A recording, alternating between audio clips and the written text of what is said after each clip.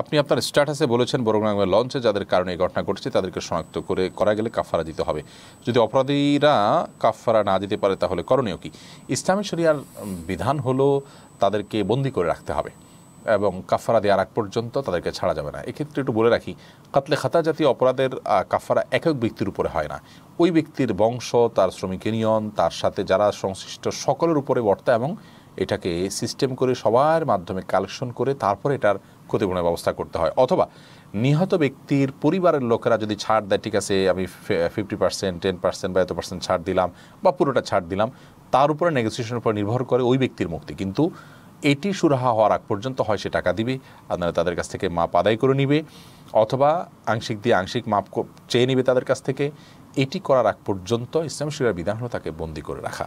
এবং এই বিষয়টি সৌদি আরবে এখনও কার্যকর আছে। অনেকে প্রশ্ন করেছেন, আমাদের কমেন্টে আমি দেখেছি যে অনেক প্রবাসীরা আছেন, আমাদের, তাদের তো মৃত্যুর পরে দেওয়া হয় না। আমি ব্যক্তিগতভাবে বহু প্রবাসীর মৃত্যুর পর ক্ষতিপূরণ আদায়ের সাক্ষী। বিভিন্ন মামলায় আদালতে মোতার্জিম বা ট্রান্সলেটর হিসেবে আমার যাওয়ার সুযোগ হয়েছে, আমি দেখেছি। হ্যাঁ এটা ঠিক যে অবিচার এবং বৈষম্য প্রচুর পরিমাণ হয় প্রবাসীদের প্রতি, সেটা সত্য। কিন্তু আবার একেবারে প্রবাসী হলে তাদের ব্যাপারে শরীয়তের বিধান একেবারেই কার্যকর হয় না, অন্যদের ব্যাপারে হয়, ব্যাপারটা কিন্তু সেরকম নয়।